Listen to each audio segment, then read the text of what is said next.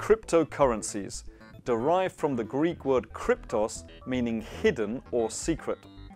Are cryptocurrencies the new hidden gem of investment, or are they a secret that should probably stay that way?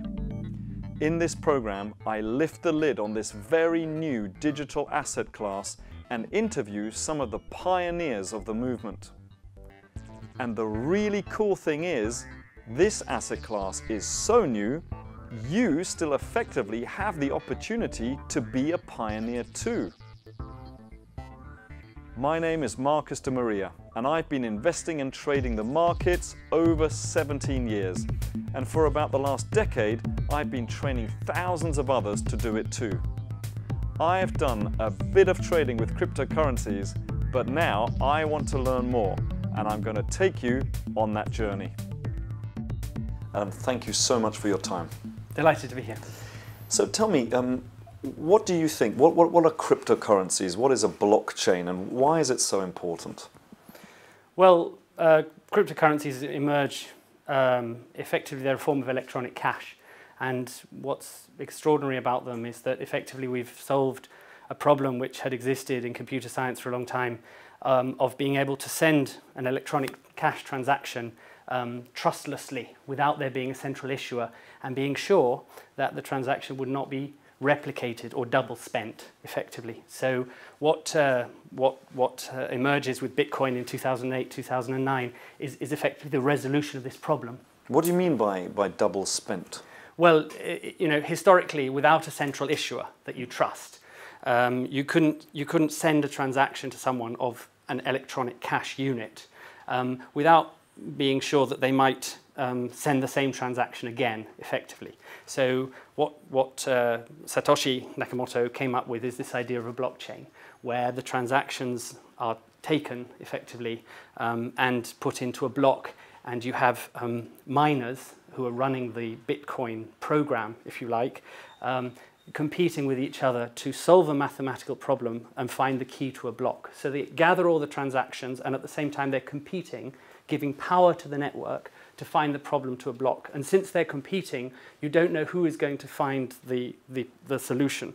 Once the solution to the math problem is found, a block is formed and then you have a chain of blocks. So then all the miners start working on the next block. So the longest chain is always the, the current one.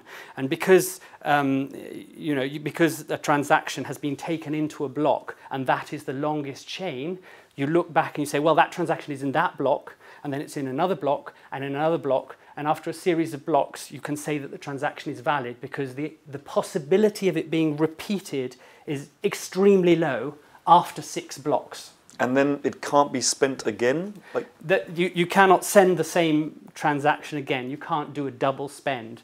Because before the blockchain, before this insight of the blockchain, which takes in various insights from maths and cryptography, it's a sort of multidisciplinary solution that, that Satoshi came up with, um, we could never figure out a way of having a trustless, permissionless electronic cash, a sort of digital gold, if you like, uh, without having a bank or a central, a central trusted intermediary that said, yes, this is my ledger and only things that come from me are valid. Now we have effectively a decentralized, distributed ledger in the sky, a global decentralized ledger showing the transactions. So uh, the, the fact that everyone can see them means that everyone can be sure that they're not being double spent. And the fact that there is mining means that there is effectively proof of work for every block so that you have proved you have done the work to say that the transactions are valid. It's very interesting because when you mention things like in the sky, I remember, you know, when cloud first came about, I was dead against it, and now I wouldn't live without it. Um, do you think people can trust something that's in the sky? Well, I think people do trust things in the sky every day, and, and effectively, you know, our, our consciousness is changing, and I think we are increasingly becoming more digitally conscious and less, there is less and less consciousness in a way that is physical. And of course, one can lament that philosophically, but that is a fact. And, you know, we live as, as sort of digital nomads through a series of services and interactions. And we have, if you like, multiple personalities on multiple different digital levels. So I think that that ship has sailed. Now, you're probably thinking, a load of lines of code flying through the internet at light speed representing value that I've earned. That doesn't sound particularly safe. But what if I told you that the very reason that these cryptocurrencies were created was to create a safer way to transfer value? For Bitcoin, the very first cryptocurrency, this was their primary goal. And in this program, our main focus will be on Bitcoin as it is the most widely recognized cryptocurrency and it has also been around the longest. But remember, the principles are broadly the same across most of the cryptocurrencies. So bitcoins are digital coins you can send through the internet and in comparison to other more traditional alternatives, bitcoins have a number of advantages. Bitcoins are transferred directly from person to person via the net without going through a bank or clearinghouse. This means that they are not country specific.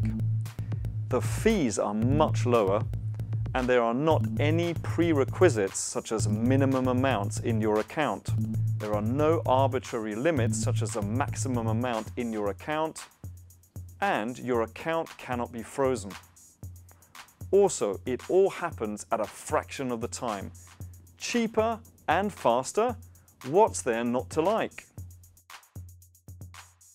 So, if I were looking to make money in this mm. and invest, what would be the best way to go about doing that? Mm. Well, so the best investment advice with all of this stuff is go back in time to about 2011 and buy a lot of Bitcoin. Uh, and you know that's really pretty good advice. You know, if you're going to be investing in the future, you're going to be taking risk. The cryptocurrency arena has enormous amounts of risk: technical risk, political risk, regulatory risk, risk of competition from the future. We don't really know the fundamental valuation of all of these assets. Um, I think the only dependable bets are the ones you would have had to make a long time ago. From here on out, I think the price performance is likely to be compatible with other areas of high-tech innovation. Uh, and think of biotech. Somebody is going to make a trillion dollars, everyone else is going to lose their shirts. It's probably more like that than the S&P 500. So what about the current incumbents, you know, the Bitcoin, Ethereum, Ripple, etc., the big mm. market caps? So they're the best bet at the moment? Well, I mean, right now those companies are all tiny right? I mean, Bitcoin is a company, but it's tiny. and it's, you know, whatever it is, 130, 150 billion. Uh, what's the total value of all the gold in the world? Eight to nine trillion. Right. So, is it big yet?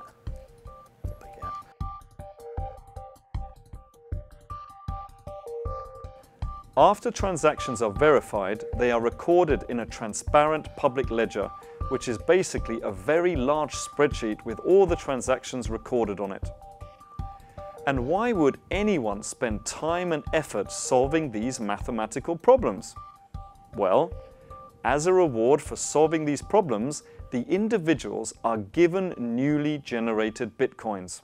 At the most basic level, Bitcoin is just a ledger with account numbers and balances, a very, very big spreadsheet which all those who solve the mathematical problems to verify transactions have a copy of.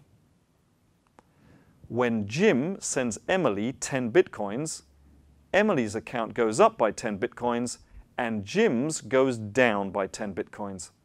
There's no gold or government issued money backing these numbers, just people's belief that the numbers are worth something.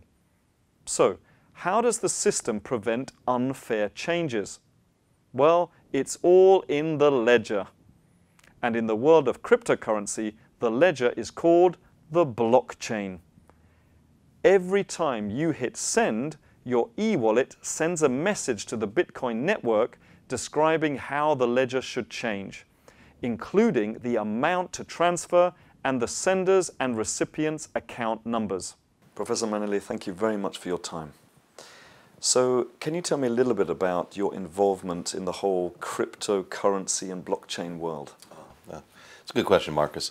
Um, our involvement began about uh, 22, 23 years ago. We were building distributed ledgers, as I prefer to call them, rather than blockchains, but we were building distributed ledgers for secure document transfer systems. And the advantage was that we had a distributed system, which is therefore inherently resilient, like the internet. You, you can take out nodes, but you can't take out the system. And the second thing that we wanted to do was to ensure that the records couldn't be altered by anybody. And so we, we did what's called chaining. We took hashes of various documents and put them into the subsequent documents. And that's really effectively all you're looking at, a multi-organizational database with a super audit trail. That's what a distributed ledger or blockchain is. Uh, blockchains are only one form, really, of distributed ledger. Cryptocurrencies, though, are, are, rather different. So putting a cryptocurrency on top of a distributed ledger is an application. So you're taking a multi-organizational database and you're saying, I would like to have little tokens, virtual elements, if you call them, with identity on them. And here's a number for you, and you send some numbers back to me, and we send them on to somebody else. What we make of those numbers, though, is up to us. Um, my firm has been researching this area um, for quite some time, and in fact, we put out some publications in 2011, for example, on what this might mean for commerce, uh, for trade architectures. I do see this as a transformative technology, but not necessarily revolutionary, if I can draw that distinction. It's a, um, it's a bit like databases, which uh, I said earlier, these are multi-organizational databases with a super audit trail. And we didn't see this enormous database revolution as consumers in the 70s when they come out. Um, but we did feel the effects of it. So I'm hoping in the future people won't be talking about blockchain and distributed ledgers unless they're technologists like we. Like a check, Bitcoin requires a signature on each message to prove that it was created by the true owner of those coins. But you guessed it, this is no ordinary, easily forgeable handwritten signature. This is a signature based on maths. In Bitcoin's case, cryptography has been repurposed to prove ownership. Every time someone sends money, a transaction message is sent all around the world to people who want to help maintain the blockchain. And these people are known as miners. Miners have a copy of the blockchain and update it whenever they receive a new transaction with a valid signature. With ledgers spread all over the world, traffic delays and occasionally fraud can lead to differences in those ledgers. So how does the world decide which version to use? Well, like in a democracy, there is a vote. And how does someone vote? They solve the puzzle. The puzzle is a kind of mathematical race, but instead of being designed to favor the winner, it is designed to favor the majority's version. This is because the more people there are working on a particular version, the faster it will be solved. The puzzles are extraordinarily special in that there are no tricks to solving them faster other than by buying more computers and electricity. Now, outsolving the majority would require outspending the majority, which is not very attractive. Now, I know you have a big question. Why would anyone spend his or her time, money, and resources on maintaining a ledger? And the answer is because they will earn money, well, value. Look, every time a code is deciphered, a small award is added to the miner's balance, effectively creating money. This award acts as an incentive for people to help maintain the blockchain and how new value enters the market. But an important factor to remember is that within the system, a miner's main purpose is to manage the blockchain and not to create value. The voting system simply provides a convenient way to distribute money into the world. After 2140, no more money will be created at all. I'll give you a good example. I was, I was talking to um, a, a, chap a couple of weeks ago and um, a friend of his um, had got involved with someone in Monaco who had a swimming pool and was complaining about the cost of heating a swimming pool. So I'll tell you what I do. I need to do some mining. Can I put some a miner in under your swimming pool in your garage and you can use the heat to heat your swimming pool? He said, what are you talking about? He said, well, don't worry about that. I'll pay you something for doing it. So long story short, he was Bitcoin mining, using the excess heat to heat the guy's swimming pool. The price of Bitcoin um, at that stage, it fell in value. He stopped doing mining. Three years later, he goes back to see his friend in Monaco and says, oh, I bet you're really pleased about that mining. He goes, I never understood what you were talking about. What, what do you mean? He said, have you got the bit of paper? I told you to put it in the safe, and he went to the safe. punched into the internet and he said, Well, do you know your Bitcoin is worth $24 million? He said, What, what about your Bitcoin, Bitcash? What, what are you talking about? There's another 8 million. So called sophisticated investors, very wealthy individual. Now, if that can happen at that level, you know, you can see the problems and some of the issues that, if you like, the man, lady in the street will, will run into. And, and a lot of people say, well, yeah, but the whole cryptocurrency, it's a scam, it's a con, it's not real, I can't touch it, you know, you'll lose your value. Well, look, let's look what's happened to the US dollar. In the last 80 years, it's declined in value by over 80%.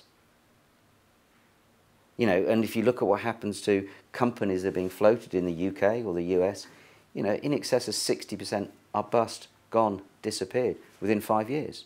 So it's not going to be any different with cryptocurrencies. There'll be some good ones and some bad ones. You know, one company I, I you know, often mention is a company called Ripple, which many people have never heard of. It's backed by a hundred of the biggest banks. Um, according to the FT last week, they've now got a $15 billion war chest, which they want to go out and on the acquisition trail and build their business. And what do they do? They're basically finding a way to disintermediate, take the friction out in the banking world. So when Barclays sends money to um, HSBC, they reckon that by using the Ripple platform, they can actually cut the costs by 40 or 50% quite easily. And when you talk about the trillions a day that are tra being transferred to cut the costs out of money transfer, you can see why something like Ripple, um, or perhaps you can understand why Ripple has gone up by over 3,000% in the last year. It, it's it's going to change that industry quite significantly, and it's, whoever can crack it is going to make a lot of money. You're now probably feeling a little bit more familiar with the concept of cryptocurrencies, but how can you take advantage of this? Now, for some, the word volatile is frightening, but for others who know how to embrace volatility, the word is exciting. In terms of trading and investing on the stock or other markets, if something is volatile, then it means there is a lot of movement. And where there is movement, there is the opportunity to make money, or indeed, potentially lose it, of course. So, what's your particular interest in this? Well, my particular interest is that um, having set up literally from, from, a, from a bedroom um, in London, a, a, a, business managing people's money, um, and I thought I was frightfully clever by going out and buying a, a TV with teletext because I was 15 minutes delayed getting the price of um, what was going on in the stock markets as opposed to buying the FT tomorrow, and it was 24 hours late. Um, and that evolved into managing people's money um, and then I went on and um, basically floated the company, and we ended up with over a billion under management. Um, but it was it seemed to me that people didn't understand the risks that they were getting in, and when you actually try to explain, like for example, most people think investing in foreign exchange is is really really risky and um, shouldn't be touched at all. The reality is that the ups and downs, the zigs and zags, the volatility, or as investment professionals talk about, the standard deviation returns, actually something like foreign exchange is much, much less volatile than maybe putting your money into the equity market. So some very fundamental basics which the press have tried to educate and teach the people, but most people have got no idea because they're never really taught. We're never really explained the benefits of pound cost averaging. Now pound cost averaging, as an example, is, is a brilliant mechanism because if you just put in, let's say, you know, £10 a month into something, but you want that thing to be going up and down because when it's down you'll buy lots of units and when it's up you perhaps buy one or two units. But if the overall direction is going that, that way, something that's very, very volatile is brilliant for a regular savings contract. So it's absolutely fantastic for your pension. And that's where I see you know, this, this idea of cryptocurrencies actually being a digital pension for many, many people. And once you've built up a reasonable stake, a reasonable depends on your circumstances, but it might be five or ten thousand pounds, you take your money out of that volatile asset class and you put it into something perhaps a little less volatile. So it's very, very basic, very simple concepts. You don't put all your eggs in one basket. So ideally, you don't go and buy just one cryptocurrency. You, you look to have a spread of a number of them in a, in, in a fund or a portfolio. Unlike gold or silver, cryptocurrency's worth ranges dramatically from place to place. To a Nepalese goat herder, for example, a cryptocurrency is just about worthless. But for anyone interested in trading and investing, they'll jump on a good cryptocurrency opportunity because it has value to them. It's these factors that create the volatility unseen ever before. So what action can you take? Well, it's quite simple. Start investing in the more recognized ones. And this program comes with a huge risk disclaimer that past performance is not an indication of future results. Investing carries a large degree of risk and this is the most risky market that you could possibly ever get into. Now personally, I own about 25 different types of cryptocurrencies, but I definitely didn't take my entire life savings and put them all into cryptocurrencies. Whilst the market is this volatile, this is definitely not a good plan. But what I will say is that small investments with a little bit of experience, knowledge and sometimes luck can generate some great rewards.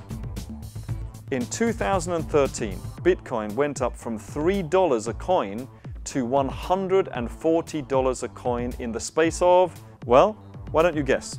9 months, 12 months, 6 months, a year? Surely not as little as 3 months. You're right, of course, it wasn't as little as 3 months, that would be crazy. Bitcoin went up from 3 to $140 a coin in one week. Cryptocurrencies are based on collaboration. The more people that know about these currencies, the more people who start to use them in their day-to-day -day life, the more developers you have who create applications that rely on these technologies, the more the network strengthen. And when the network strengthens, the value goes up, just like in the supply and demand model. Thomas, thank you very much for your time. Thank you for inviting me. So, for you, what are cryptocurrencies and what is the blockchain and why is it so important? To me, it's the biggest shift of my career. I've been working since 1980. I've never seen anything that allows you to trade between two parties without raising an invoice, without having a remittance note, and without using a SaaS system or a software system, or even going through a bank. You can now trade peer to peer with your smartphones in less than 10 minutes. We've never seen anything like that every organisation must be terrified. Okay, so but why would somebody watching this right now, why would they care about that? Because at the moment people are putting all of their income through different banks. They're putting their invoices, their purchases, all their credit control, their cash, their deposits, everything is going through a bank. And they're relying on the trust of that bank to hold that, that money, that asset, that capital. We've got super little apps and super little payment systems and super little desktop systems now to deal with the banks. But we, all of that capital is sitting there not growing. People want their capital to grow. Capital has to work. If capital doesn't work, it just lays idle. If you choose to put your capital into a cryptocurrency, whichever one it might be, Bitcoin, Ethereum, Ripple, any particular one, of which there's probably over a thousand now, we're looking at a situation very similar to dot-com, 1997, the dot-com bubble, 1997 to 2001. Very, very similar, where blockchain is e-commerce. Do you remember the e-commerce ads and the sun.com ads and the IBM e-business ads? So e-commerce is now blockchain, another transaction system. What we haven't seen yet is any one of these currencies uh, emerge into being uh, a Google, an Amazon, a Facebook. And if we look back to 1997, that was really before Google and before Facebook. We only really had Amazon back then. But what if it turns out that Bitcoin, Ethereum, and Ripple are in fact Google, Facebook, and Amazon, and they grow by a thousand times over the next 20 years? Now, Amazon floated in May 1997. By May 2017, its share price has gone up a thousand times. That's a million percent. Imagine if that happens to Bitcoin, Ethereum, and Ripple by 2037. A thousand times growth. That's why people should care about these currencies. Because I think it may have already happened but people don't realize it has. And one of the wonderful things I like about Bill Gates' book, The Road Ahead, which is about 25 years ago, that book, is he talked about that, the fact that people always overestimate the beginning of a market and underestimate the end of a market. There are lots of opportunities out there. You just have to take them.